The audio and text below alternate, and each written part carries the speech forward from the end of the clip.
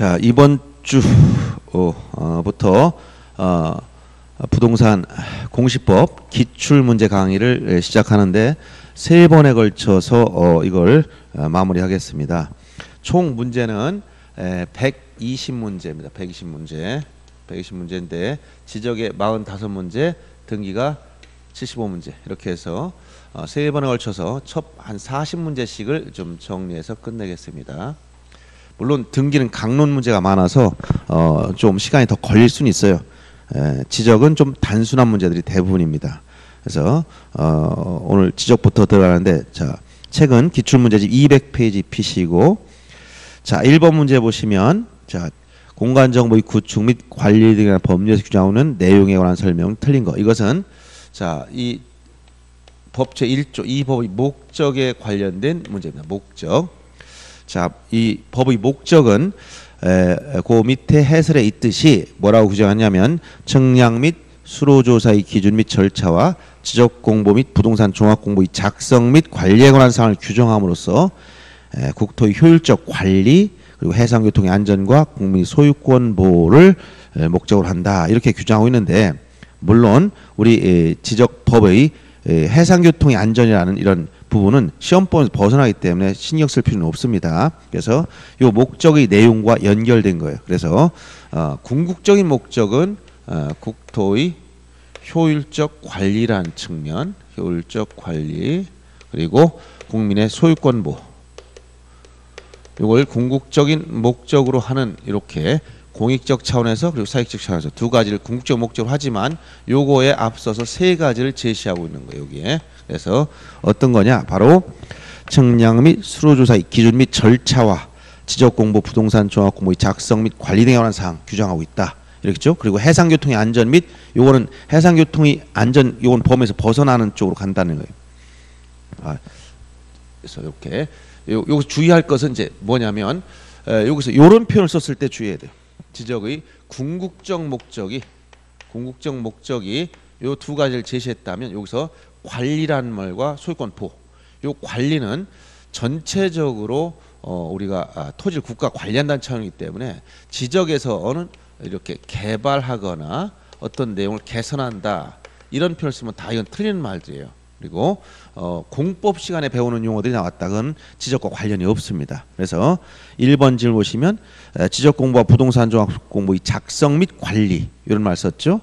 그다음 2번은 에, 토지에 관련된 정보의 종합 아, 지적 공부 등록에 관한 사항. 즉 지적 자체가 아, 토지 관련 정보를 지적 공부에 등록하는 것이 지적이기 때문에 이런 내용이 기본적으로 들어가 있는 것이고 그다음에 지적 공부에 등록된 정보의 제공 이것은 에, 지적에서는 5대 이념과 연결돼서 지적 공개주의라고 있죠. 지적 공개주의. 공개주의 이념에 따라 이런 정보를 누구든지 원하는 사람한테 알려줘야 됩니다. 그래서 이런 지적 공부의 제공에 관한 등록된 정보를 제공에 관한 사항도 어, 이런 내용에 다 들어가 있고요. 그렇지만 국토 계획 및 도시 환경 개선 이런 것은 자 여기서 일단 국토 계획 국토 관한 것은 국계법에서 배우는 내용이지 지적에서 다루질 않습니다. 그리고 환경 개선 아까 이런 개선이나 개발 이런 말씀은 다 틀리다고 얘기 줬어요. 그다음 토지 관련 정보의 조사 측량에 관한 사항 이런 것이 기본적으로 1조에 들어갔거나 아니면 5대 이념과 연결돼서 어, 정보 제공해 준 측면이라든가 이런 것들이 이런 법률에서 어, 우리가 규정하고 있는 내용에 속하고 4번과는 거리가 멀다 이렇게 보시면 됩니다. 그 다음에 제 2조가 용어 정의 문제인데 2조 항상 용어 이법 쓰는 용어 정의 문제. 자, 용어 정의에서 단골로 출제되는 것들이 여기 2번과 3번에서 나온 것들입니다. 여러분들이 수업 시간에도 지적 공부의 종류 8가지, 그 다음에 부동산 종합 공부란 무엇이냐, 또 토지 이동이란 무엇인가, 또 등록 전환, 축척 변경, 뭐 지적 소관청 이렇게 정리했던 내용들 토대로 한번 기출 문제를 보면서 어떻게 문제를 변형시키는지를 확인해야 되겠습니다. 2번 보시면 용어 정의 중 옳은 걸 찾으라 했죠. 지적 소관청이란 지적공을 관리하는 지방자치단체인 시군구를 말한다. 이게 잘못된 거죠. 이것도 자 지적 소관청은 지적 소관청은 이것은 시장군수구청장이다. 시장군수구청장. 그래서 이것은 원래 지적사무는 국토교통부 국가 즉 국토교통부 장관이 해야 될 업무를 위임했다. 위임 위임해서 이걸 처리하는데 시장 군수 청장을 말하고 요 시장이란 밑에 구가 없는 시의 시장이다 이렇게 표현했고 요 구청장은 자치구청장이든 행정구청장이든 묻지 않는다. 구청장이기만 하면 무조건 소관청이 된다 그랬어요. 그래서 지역 소관청은 바로 국가기관, 국가사무를 처리하는 기관으로서의 시장군수청장을 의미하지 지방자치단체인 시군구와는 아무 상관이 없다. 그 다음 2번 지목이란 토지 주된 형상에 따라 구분한 것이 아니라 지목은 주된 용도, 토지 주된 용도를 가지고 나누는 거죠. 그래서 우리가 용도 지목주의다 이렇게 표현. 용도 지목주. 용도 지목주의. 그 다음에 축척 변경이란 지적돼서 자 축척 변경은 항상 축척 변경이 나올 때는 세 가지 축척 변경 첫째 지적돼서 즉 임야돼서는 없다는 거예요. 이런 말씀 안 된다는 거죠. 경계점의 정밀도를 높일 목적으로 작은 축척을 작은 축척을 큰 축척으로 이렇게 작은 축척을 큰 축척으로 이렇게 변경하는 방향을 잘 보셔야 됩니다. 거꾸로 가면 다 안 된다겠어요. 안 되는 것들 지적도에서 도면의 정밀도를 높일 목적으로 작은 축척 예를 들면 어, 1000분의 1 이것을 500분의 1로 바꿨다. 이게 작은 축척을 큰 축척으로 바꾸는 겁니다. 이렇게 용어가 정의되지 여기서 하나라도 벗어나면 다 틀립니다. 그래서 3번은 지적도에 등록된 경계점의 정밀도를 높이기 위하여 작은 축척을 큰 축척으로 이렇게 해서 이것은 정확히 맞는 거죠. 4번 토지 표시라면 지역 공부의 토지 소재 지번 소유자 지목 면적 경계 좌표 이 토지 표시 여섯 가지 무조건 암결하겠어요. 토지 표시 토지 표시는 소재 지번 지목 경계 좌표 면적 이 여섯 가지를 토지 표시라고 했어요. 여기 소유자가 들어가면 무조건 안 됩니다. 소유자나 토지 등급인 이렇게 들어가면 안 된다겠지. 토지 표시 여섯 가지 무조건 기억합니다. 소유자 때문에 틀린 거예요. 그 다음에 5번에 지번 부여적이라 하면 지번을 부여한 단위 지어로서 읍면 동리가 아니고 동이나리. 지번 부여적은 동과 리가 기준이다. 동리. 이때 동리는 법정동을 의미한다. 그래서 법정동. 그래서 행정동이 아니다. 일반 행정동이 이게 아니라 법정동을 의미한다. 동과 리를 지번 부여제라고 합니다. 그래서 옳은 것은 3번만 맞는 겁니다. 그다음에 3번 문제도 역시 같은 용어정인데 토지 표준 방금 나왔죠. 여섯 가지 소재, 지번, 지목, 면적, 경계, 조합표. 지번 부여적 동리에 준한 지역인데 이건 법정 동을 의미합니다. 지목이란 토지 지형에 따른 게 아니고 주된 형상에 따른 것도 아니고 뭐라고 주된 용도에 따라 주된 용도 용도 지목주의다. 용도 지목주의 취하고 있다라고 했어요. 3번이 틀렸고 경계점이란 필지를 구획하는 선이 굴곡점 이렇게 경계라 경계와 경계점 차이가 경계는 경계점과 직선 연결한 선이다. 이 선은 도면 위에 있다. 그래서 도면 지상에 있는 게 아니라 도면 위. 그리고 경계점이라는 말 쓰면 이 경계 한 번씩 꺾인 점, 굴곡된 점, 꺾인 점들만 굴곡점을 말하고 이것은 지적도 임하도 도면에 도해 형태 그림으로 표시하고 경계점 좌표 등록부에는 좌표 형태 좌표 값으로 표시한다 이렇게 나타난다는 거예요. 경계점 점으로 끝나야 돼. 선이 굴곡점이다. 그래서 에, 경계점이란 필지를 구획하는 선이 굴곡점 그리고 지적도 임야도에는 도해 형태 그림으로 표시했고 경계점 좌표 등록부는 좌표 형태로 등록된다. 그 다음에 5번 토지 이동이란 토지 이동은 반드시 토지 표시를 새로이 정하거나 변경 말씀한다. 이 표현이 나와야 된다 했지. 토지 표시 여섯 가지. 토지 표시 이것을 예, 새로 정하거나 변경하거나 말소하는 것 여섯 가지를 소재, 지번, 지목, 경계 잡표 면적 여섯 가지를 새로이 정하거나 변경하거나 말소하는 것 이 세 가지가 다 언급돼야 됩니다. 용어 정의에서는 그래서 에, 지금 3번이 틀려 있는 겁니다. 그 다음에 이제 202페이지 넘어가 보시면 이제 토지 아 202페이지죠. 넘어가 보면 토지 등록과 관련해서 어, 거기 가로에 무엇을 넣어야 되느냐 이런 말을 하는데 이것은 조문을 그대로 옮겨 놓은 것으로서 아주 중요한 조문 내용입니다. 그래서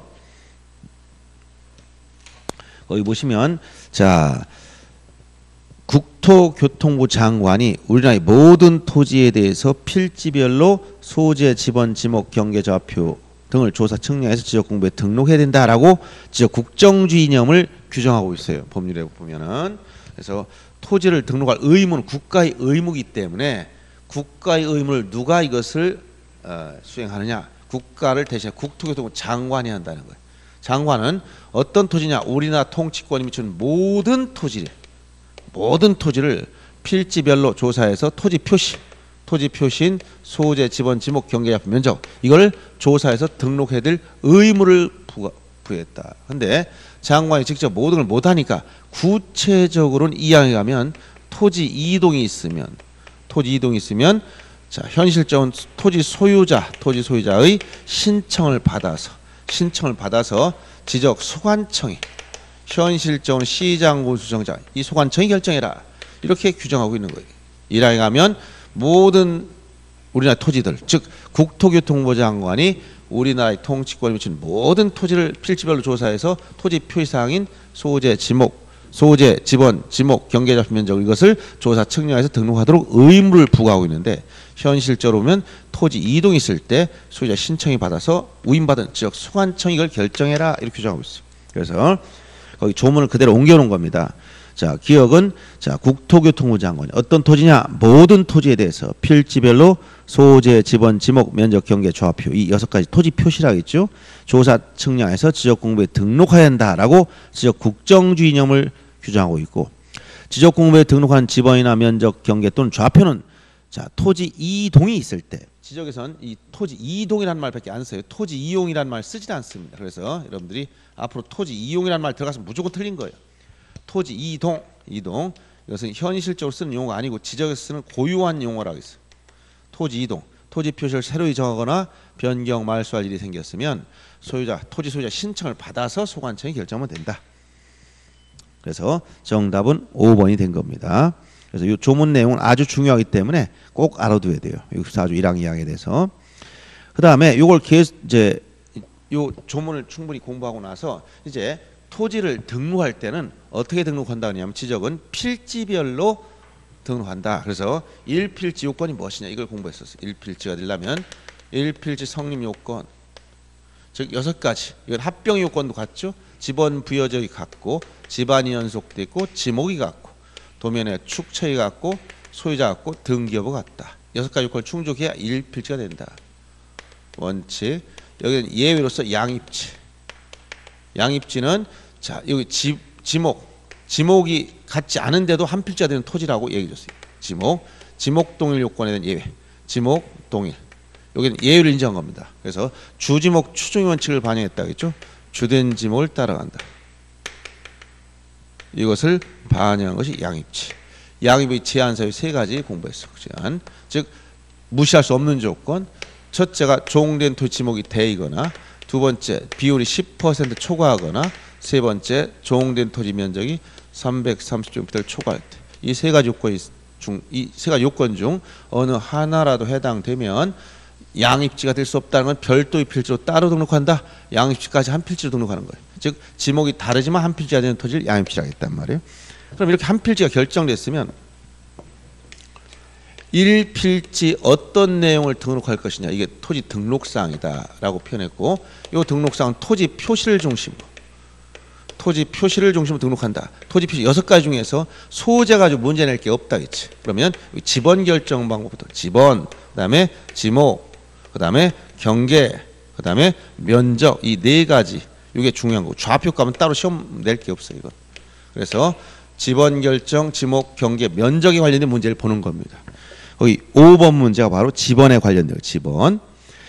자, 지번은 특히 제일 중요한 건 지번 부여 방법하고 어 저 표기 방법, 표기 방법과 북서 기본법 원칙, 그다음에 지번 부여 방법 세 가지라고 했어요. 지번의 표기 방법, 그다음에 북서 기본법. 그 다음에 구체적으로 토지 이동에 따른 지번 부여 방법. 요 지번 부여 방법이 총 네 가지가 있는 거. 그래서 표기에는 자 토지 대장 지역도와 임야 대장 임야도를 나눠서 임야 대장 임야도는 지번 숫자표 산자를 붙여 있고 자 이것을 이제 단식 숫자 하나만 나오면 단식 그 다음에 복식 지번 나눴었죠. 예를 들어서 10번지냐 산 5번지냐 이게 단식 지번이야. 복식은 10의 3, 뭐 산 5의 1 이런 식으로 표시한 거. 이때 복식 지번 중 앞에 나오는 게 본번, 뒤에 나오는 게 부번. 요거는 표시를 표기를 이렇게 대시로 표시했고 읽을 때 의라고 읽으라고 했어요. 그다음에 북서교법은 지적 소관청이 지적 소관청이 지번을 부여할 때 북서쪽에서 시작하여 남동 방향으로 이 방향으로 지번을 부여 나가라. 이걸 북서교법 원칙. 그래서 전체적으로 지번 부여 흐름을 얘기한다 했지. 이 동리나 방향 전체 방향 표시를 했을 때 지번 부 여정이 요 방향에서 이렇게 좌에서 우에서 흘러- 흘러가는 방향이 북서쪽에서 해서 남동 방향으로 흘러간다는 거. 그다음 지번 부여 방법 총 네 가지. 이걸 기억해야 된다 했죠. 어떻게 신규 등록 등록 전환 시, 토지 분할 시, 토지 합병했을 때 지적 확정 측량, 도시개발 사업을 하고 지적 확정 측량의 지번 부여 방법 이렇게 나눠서 전체적으로 전부 다 기본 구조가 원칙과 예외 이런 구조로 된다. 원칙과 예외 구조. 그래서 신규 등록 등록 전환 시는 하냐? 인접 토지 본번에 부번을 붙여라. 원칙 예외 최종 지번에 본번을 붙인다. 세 가지 채원 수라 하겠어요. 최종 지번에 인접해 있거나 원거리 거리가 멀리 떨어져 있거나 여러 필지 수필지 이런 표현이 나오면 이건 예외로 가서 최종 다음에 본번을 부여하는 겁니다. 분할 시는 한 필지는 분할 전 지번을 그대로 하고 나머지 필지에 대해서는 분할 전 지번의 본번이 최종 부번 다음 순번 부번 부번이 두 번 나와야 돼요. 그 다음에 주거나 사무실 등 건축이 있을 땐 의무적으로 분할 전 부여줘야 되는 거죠. 합병은 선순위 지번인데 본번 중 선순위. 본번 중 선순위가 우선이라 있고 여기서 또는 사무실 등 건축물이 나오면 자 소유자가 건축물인 지번을 합병의 지번 신청했을 때만 의무가 나오고 신청하지 않으면 원칙대로 간다겠어요. 도시개발 사업을 하고 지적 확정 측량적 지번 부여 방법은 종전 지번 중 본번만 써라. 본번만 쓰는데 제외시키는 경우의 수가 두 가지가 있다겠죠.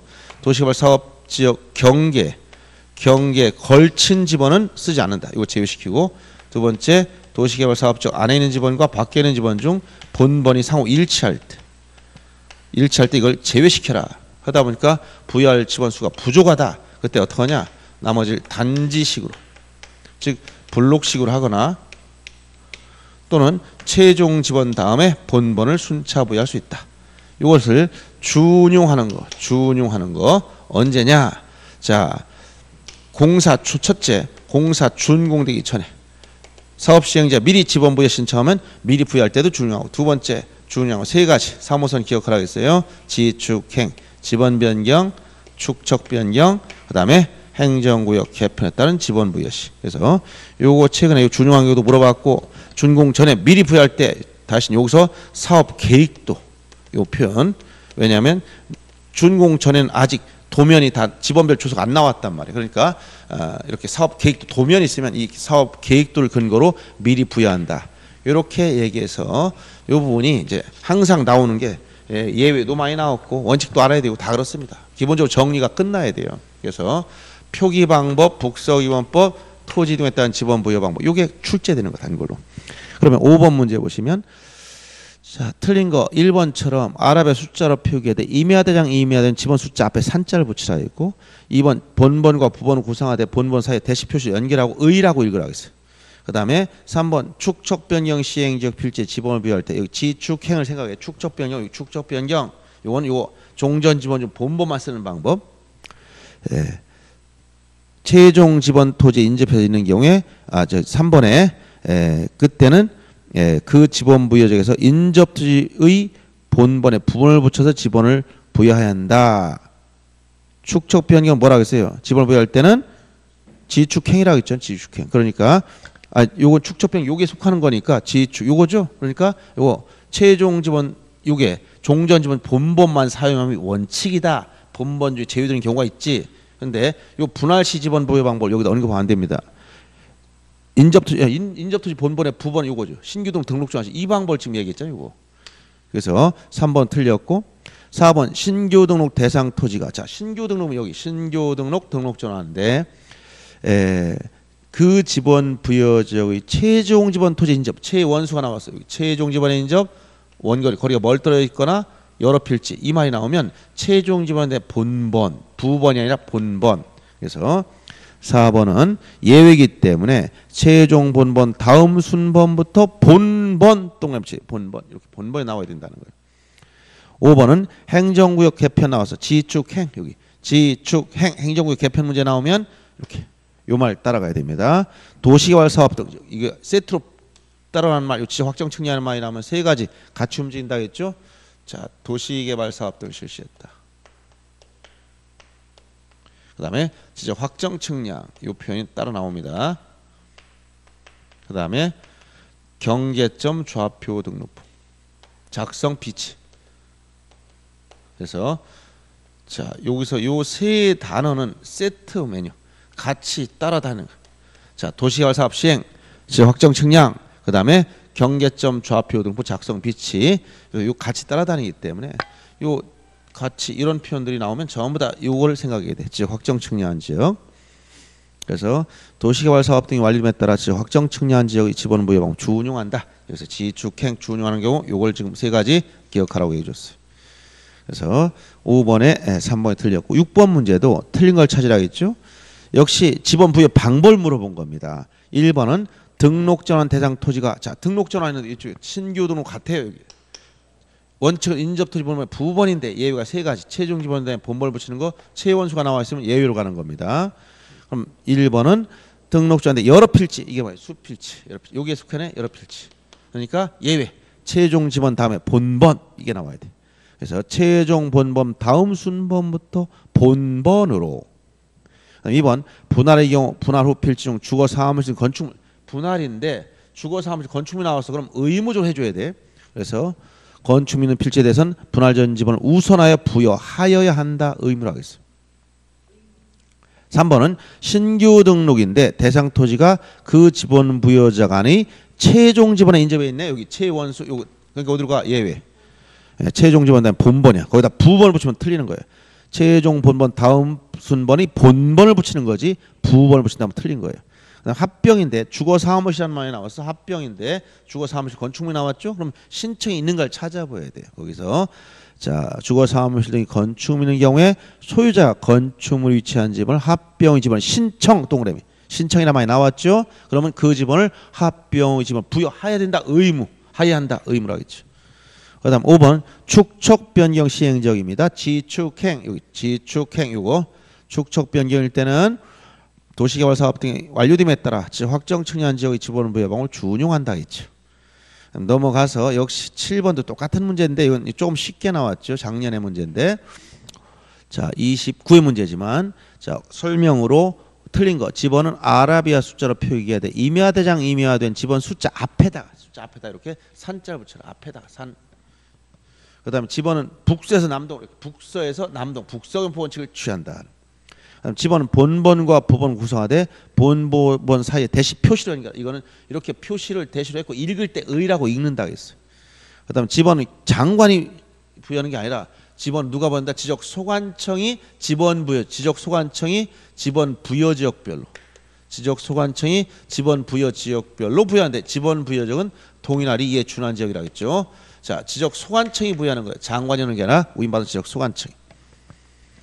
그래서 지적소관청이 지번 부여 지역별로 순차적으로 부여하도록 돼 있고 4번이 틀렸습니다.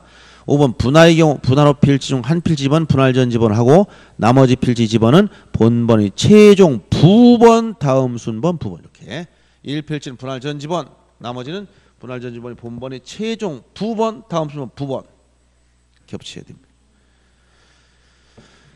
자, 이런 표현이 나와야 된다는 얘기. 그래서 4번이 틀렸고요. 8번 문제도 자 보면 이건 28회 재작년 문제죠. 어, 지적 확정 측량 나면 아까 세 가지 요거 지적 확정 측량 즉 도시개발 사업 시행 지적 확정 측량 경계점 좌표 등록부 작성 비치. 이건 같이 따라다니는 표현입니다. 이걸 준용하는 경우 이거 준용하는 경우 이세 가지가 나와야 되지? 지축행 이걸 찾아야 돼 지축행. 그래서 첫 번 기억 지번 변경 밑줄 치고 지.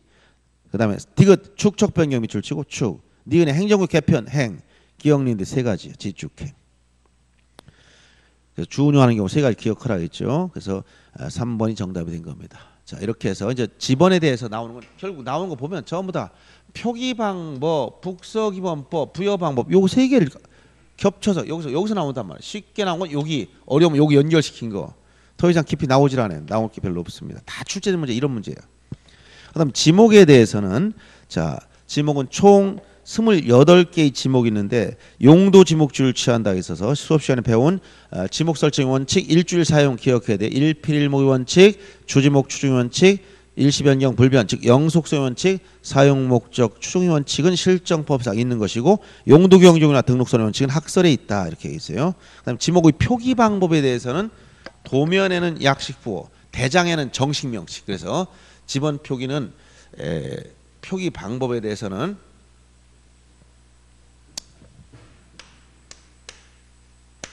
이건 지번과 달리 지목을 표기할 때는 첫째 대장 대장에는 지목을 쓰는 칸이 있기 때문에 정식 명칭 정식 이름을 그대로 써라. 그래서 뭐 주유소용지다 하면 그대로 써주면 돼요. 28개의 코드 번호가 있는데 그것까지 알 필요는 없고요. 그 다음에 두 번째 도면에는 지목을 쓰는 칸이 없으니까 약식을 줄여서 부호만 씁니다 부호 이 부호를 쓸 때의 원칙이 뭐냐? 첫 글자 따라 쓴다. 두 문자. 첫 글자 원칙 24개를 이렇게 한다겠죠. 그 다음에 예외, 차 문자, 두 번째 글자. 네 가지. 그래서 시험에 자주 나오기 때문에 네 가지 중에 천원 차량을 기억하라 겠습니다.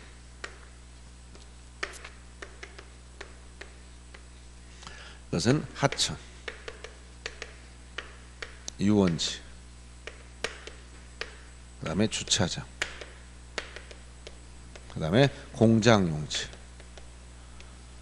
요 네 가지만 두 번째 글자고 나머지 다 첫 글자입니다. 그래서 하천은 학교용지 때문에 두 번째를 따는 것이고 유원지는 유지가 유를 쓰니까 못 쓰는 겁니다. 주차장은 주유수용지 때문에 못 쓰는 것이고 주 때문에 공장 공원이 공을 쓰기 때문에 못 쓰는 것이다 이렇게 했죠. 그래서 표기 방법 부가 나면 이 천원 차장을 써놓고 요것만 주의하고 나머지 다 첫 글자로 가면 돼요. 전부 다 첫 글자이기 때문에. 그 다음에 지목에 관련돼서 28개 전부 다 지목에 대해서 28개의 지목을 언급하고 있을 때 자, 항상 이 본문에서 본문 중 핵심적인 단어 나열된 것 중에 꼭 알아야 될 게 있습니다. 요거 단서가 붙은 게 절반입니다. 단서, 다만 이런 경우 제외시킨다. 이 말 붙어 있는 거 다 알아둬야 됩니다. 단서 문제.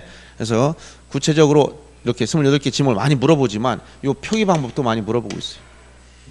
자, 그러면 9번 문제 보시면 자, 지목의 구분해와 설명. 이거 전부 다 28개의 지목을 지금 다 물어보는 거예요.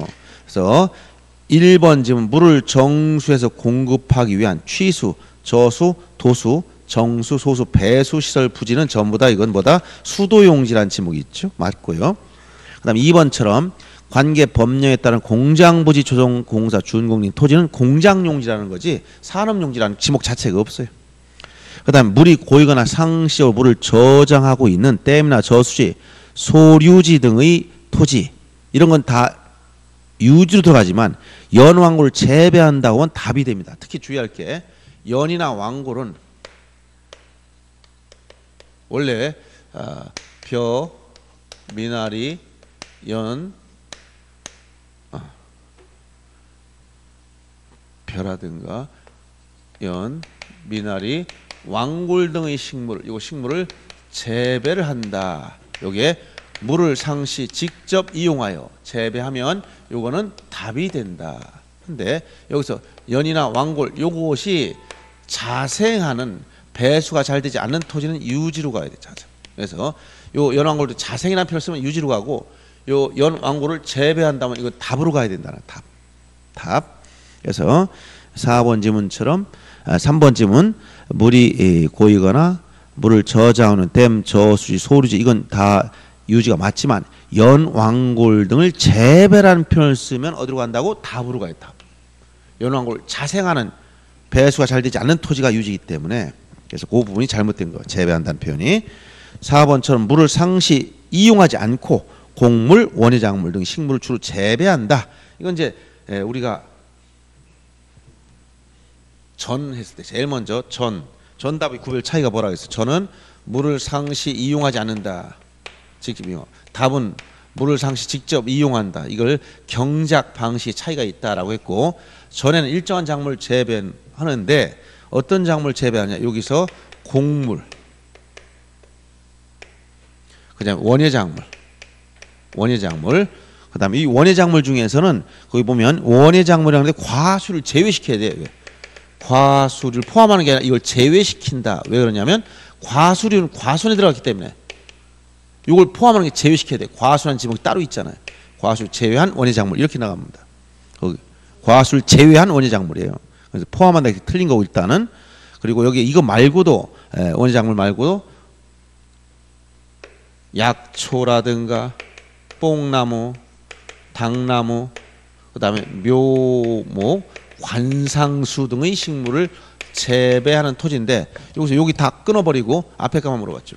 또 어떤 때는 이 뒤에만 물어볼 때도 있어. 그리고 여기는 또 이번에는 과수를 이걸 제외한다는 이걸 과수를 포함해서 잘못 표현한 거예요. 요, 요걸 지금 포함 이런 식으로 만들어놨잖아요. 이게 아니고 제외돼야 맞는 거예요. 요 부분이 틀렸다는 거예요. 그래서 과수류를 제외한 원예 작물 포함한다면 틀리는 거예요.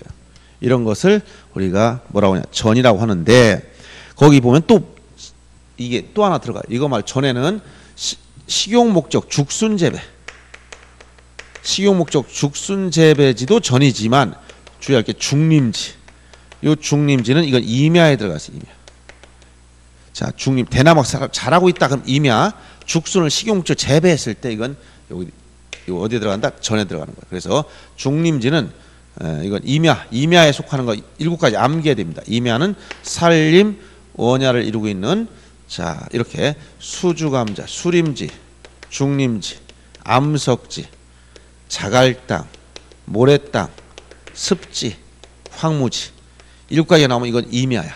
수림지, 중림지, 암석지, 자갈땅, 모래땅, 습지, 황무지. 기억해 줘야 됩니다. 그래서 거기 보면 두 가지가 4번 지문은 과수를 포함한다 틀렸고 뒤에는 중림지가 들어가 틀린 거예요. 식용 목적 죽순 재배지 있어야 돼. 5번 학교용지 공원 등 다른 지목으로 된 토지에는 유적 고적 기념물 보호하고 구획된 토지 지목은 사적지가 아니라 사적지 제외시키는 거예요. 단서. 여기 단서 사적지에서 제외시킨다.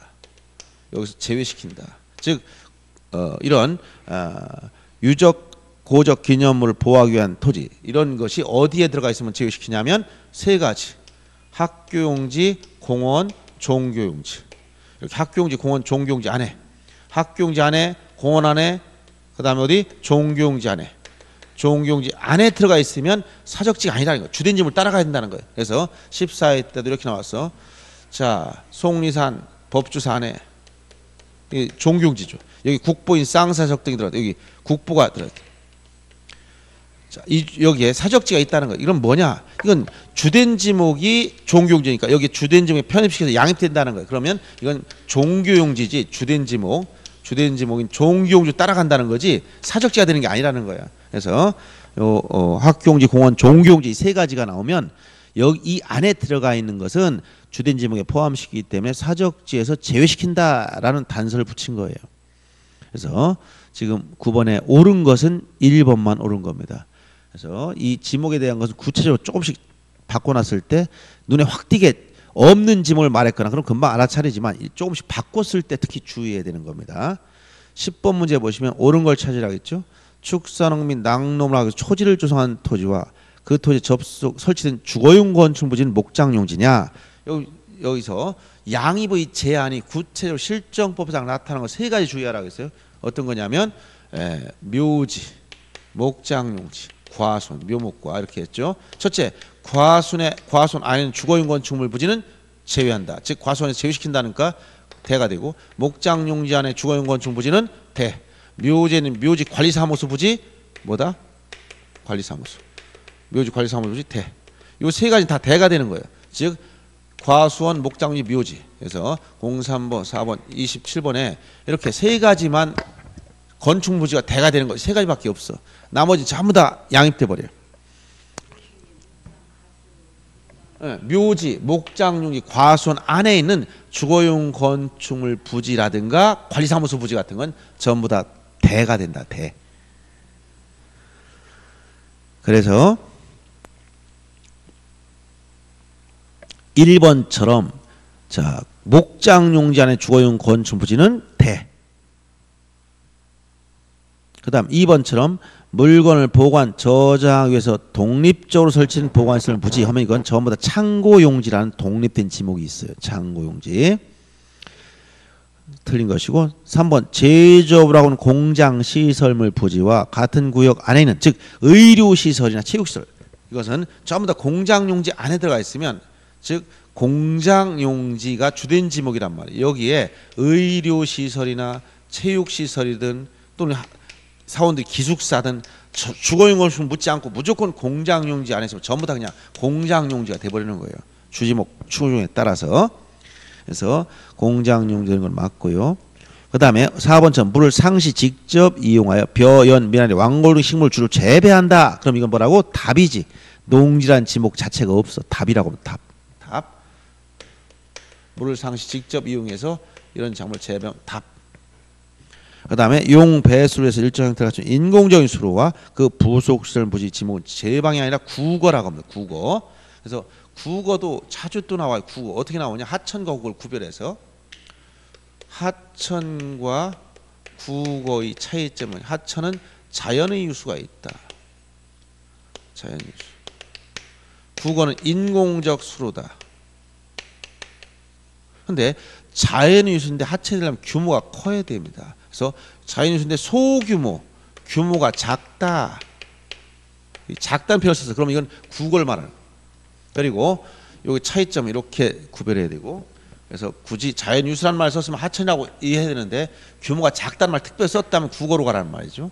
그리고 하천에서는 거기에는 뚝 이건 제방이란 지목이 따로 있어. 근데 국어에도 뚝을 만들었다. 그건 그냥 국어에 포함시켜요. 포함시켜. 제방이라는 지목을 붙이지 않습니다. 이렇게 구별해 주시면 되겠어요. 그래서 에, 5번처럼 용 배수로 해서 일정 형태를 갖춘 인공적인 수로다. 그리고 뚝과 이런 건 전부 다 국어에 포함되는 거지 에, 제방이 아닙니다. 그 다음 11번도 역시 똑같은 28가지 지목에 관련된 문제가 계속 나오는 겁니다. 29회 작년 문제죠. 1번처럼 일반 공중의 보건 휴양 등의 적합 어, 휴양 및 정서 생활에 이용하기 위한 시설 갖춘 토지로서 자 공원이나 녹지로 결정 곳이 있다. 공원이나 녹, 법률에 의해서 관계 법률에 따라서 공원이나 또는 녹지 그리고 결정 곳이 되면 지목이 공원이야 공원. 근데 법률에 의해서 공원 녹지로 결정 곳이 됐어도 공원 제외시키는 거 두 가지 기억하라 했죠. 첫째 묘지공원. 묘지 공원은 지목이 이건 묘지로 갑니다. 공원보다 묘지가 더 우선이에요. 그 다음에 자연공원 법상공원. 자연공원 공원 지정돼 있으면 이거는 임야가 대부분이 임야. 자연공원 법상 공원은 임야가 대부분이다 하는 거. 국립공원 계룡산이 뭐냐면 지목이 임야일 쪽이라는 거죠. 그래서 이 묘지공원과 자연공원 법상공원 두 가지를 조심하라고 얘기했던 겁니다. 그래서 에, 어디? 어, 그렇죠. 대부분 임야인데 그 안에 다른 지목도 있겠죠. 근데 국립공원 계룡산이다 그 안에 대부분 임야지만 즉 공원은 아니라는 거예요. 공원. 공원. 대부분 임야라는 거죠. 공원은 아니다. 법률에 지정 곳이 됐지만 공원은 아니다. 자연공원 법상공원이기 때문에 그래서 1번 같은 경우 채용용지가 아니라 공원이라는 얘기고 2번 온수, 약수, 서구리 등을 일정한 장소로 운송한다 이런 말은 나오면 이것은 에, 저기 이 광천지에서 제외시킨다는 거예요. 광천 제외. 즉 광천지 단서에 보면 온수, 약수, 서류 등이 용출된 용출구 이쪽이 에, 광천지이기 때문에 운송하는 송수관, 송유관 및 저장소의 부지는 제외시킨다. 이런 얘기가 나오죠. 잡종지로 한다는 얘기 결국은 3번처럼 물을 상시적으로 직접 이용하여 연, 미나리, 왕골 등 식물 주로 재배한다. 이게 바로 답입니다. 벼, 연, 미나리, 왕골. 벼를 뺐죠. 여기서 그러니까 한 가지 딱 빠뜨리면 좀 이상하게 느껴지는 겁니다. 일부러 이렇게 내는 거예요. 벼, 연, 미나리, 왕골 등을 재배한다. 빼도 이건 그 하나를 일부러 뺀 거예요. 뒤에 이 일정한 장 물을 상시 직접 이용한다는 그 표현이 나왔고 연, 미나리, 왕골 등을 재배한다 하겠으니까 답으로 갑니다. 그다음에 해상에 인공으로 조성된 수산생물 양식 번식 번식이나 양식을 위한 시설 갖춘 부지는 뭐냐? 양어장이 되려면 항상 육상에 있어야 된다 했지? 육상. 육상. 해상은 자, 양어장 양어장은 자 가두리 양식장이 아니라 토지 토지의 지목을 결정하기 때문에 육상에 있어야지 바다에 있는 건 토지 등록 대상 자체가 아니에요. 그래서 해상이라는 표현을 쓰면 틀립니다. 그다음에 자연의 유수가 있거나 있을 것에 해당되는 소규모 수로 자 자연의 유수, 유수란 말이 나오는데 아까 여기 소규모란 말이 나왔어. 그럼 어디로 간다고? 국어로 가야 된다. 국어. 하천은 국어. 그다음에 12번 문제를 보시면 자 지적 도면 등록하는 부호의 연결로 탱글 찾아라. 부호는 아까 천원 차장만 두 번째 글자 싹 따고 천원 차장 요 두 번째 글자 쓰는 거 차문자 요거 네 개 빼놓고 나머지 다 첫 글자야. 그러면 거기 나열된 것 중에 공원 여기 박스 안에 들은 것 중에 지금 천원 차장 있나 보시는 거예요 먼저. 그럼 어디 하천과 주차장이 있죠? 그럼 이건 하천은 천으로 가야 되고 그다음에 주차장은 차로 가니까 이건 맞았죠. 하, 하천이 틀렸고 그럼 나머지 다 첫 글자라는 거예요. 공원은 콩, 목장용진 목, 양어장은 양. 그래서 연결 틀린 걸 찾아가있으니까 첫째 어디가 틀렸어? 목장용지 이건 목인데 틀렸고 하천은 처인데 틀렸고 양어장은 양인데 틀렸죠. 그래서 니은 디귿 미음 번 니은 디귿 미음 번 1번이 정답이 된 겁니다. 이런 식으로 문제 나면 항상 옆에다 두 번째 글자 쓰는 것만 이거 딱 써놓고 이게 있나 볼, 보고 요걸 찾은 다음에 나머지 24개는 첫 글자를 따라가는 거예요. 이렇게 문제를 찾으시면 됩니다. 어려운 건 아니에요 이런 것들은. 근데 기존에 한, 하나씩 지문에 넣다가 이렇게 박스로 나오면 순간적으로 머리가 헷갈릴 때가 있어요. 이렇게 박스형으로 물어보면 약간 난이도를 높였다라고 보시면 돼요 작년에. 자 여기까지 하고 조금 쉬었다가 이제 13번 경계 문제부터 보겠습니다.